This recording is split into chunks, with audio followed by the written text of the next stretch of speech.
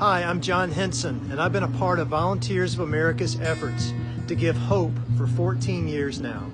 Volunteers of America is having a Day of Hope on June 23rd, and I invite you to join me as we support veterans, children and families, senior adults, and people with disabilities.